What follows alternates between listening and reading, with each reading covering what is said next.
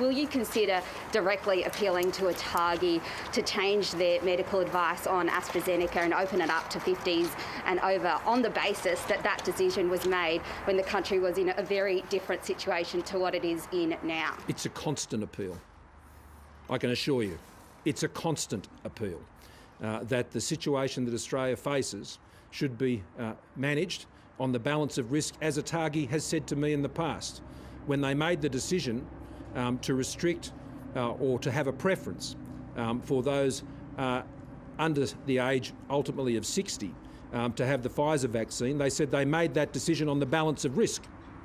Well, it's for them to now constantly reconsider how that balance of risk applies and, and, and provide their, their advice um, accordingly. Do you concede one of the challenges has been your own government's miscommunication around AstraZeneca and whether or not people should take it? Well, I'm not. I cannot control what ATAGI advises. They are an independent.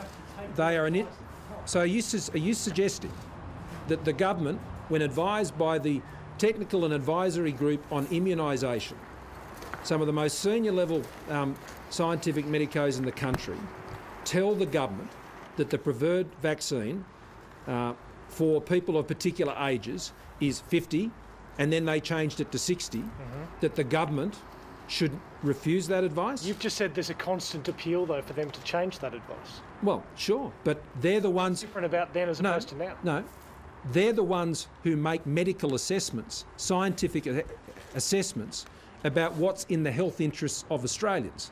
Now, all through this, all through this, we have listened carefully and been guided by that medical advice. So if you're seriously suggesting that the government should have neglected medical advice in the handling of the pandemic. No, I'm sorry. That, that is exactly now. what you're suggesting, Prime Minister, and that is not something that I would accept appeal. as a as Prime a viable Minister, proposition. Thank you. Appeal to change that advice. Prime Minister, just a couple of questions, non-COVID. Uh,